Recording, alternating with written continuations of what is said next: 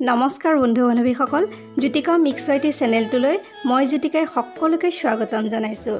আজি হ'ল ৰঙৰ উৎসৱ দৌল উৎসৱ নহয়নে? আৰু আজিৰ দিনটোৰ বাবে পুনৰ এবাৰ জনাইছোঁ সকলোকে বহুতো শুভেচ্ছা। ফ্ৰেণ্ডছ মোৰ আগৰটো ভিডিঅ'ত আপোনালোকে দেখিছিল মহাপুৰুষ শ্ৰীমন্ত শংকৰদেৱৰ জন্মস্থান বটদ্ৰবাত কি ধৰণে মহোৎসৱ পালন কৰি আছে দৌল মহোৎসৱ। আৰু মই তাৰ আয়োজনসমূহ দেখুৱাইছিলোঁ নহয়নে? আৰু তাৰ পৰা মোক এজন শুভাকাংক্ষী শ্ৰদ্ধাৰ দাদা ৰাহুল দেৱ বৰদলৈ ডাঙৰীয়া দেৱ তেখেতে মোলৈ ভিডিঅ'সমূহ পঠাই আছিল আৰু মই আপোনালোকৰ লগত শ্বেয়াৰ কৰিছিলোঁ। আজিও তাত যি চলি আছে কিমান সুন্দৰ আয়োজন চলি আছে তাৰ কেইটামান ভিডিঅ' মোলৈ পঠিয়াইছিল মই চাই আপ্লুত হৈ আজি আকৌ এবাৰ আপোনালোকৰ আগত শ্বেয়াৰ কৰিছোঁ।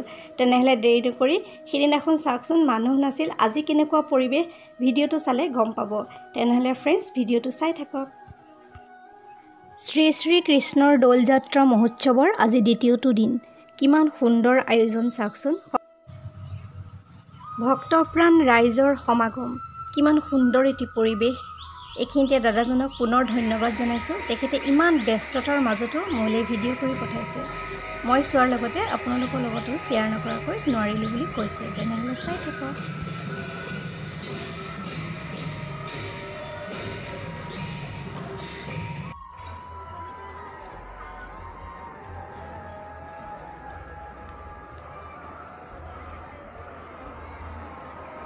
আজিৰ পৰিৱেশটো দেখিয়ে ভাল লাগিছে নহয়নে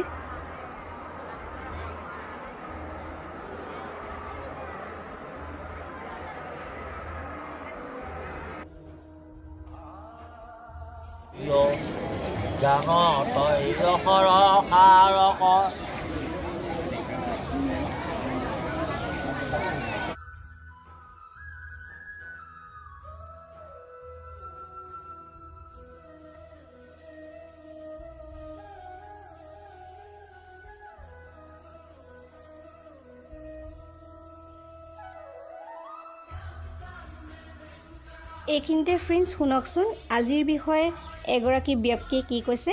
এওঁ হৈছে বৰদোৱা থানৰ সভাপতি শ্ৰী শ্ৰী নৰোৱা সত্ৰৰ সত্ৰাধিকাৰ শ্ৰদ্ধাৰ দেৱানন্দ দেৱগোস্বামী আতা তেখেতক মই প্ৰণাম জনাইছোঁ আৰু তেখেতৰ মুখেৰে শুনকচোন আজি কি কৈছে।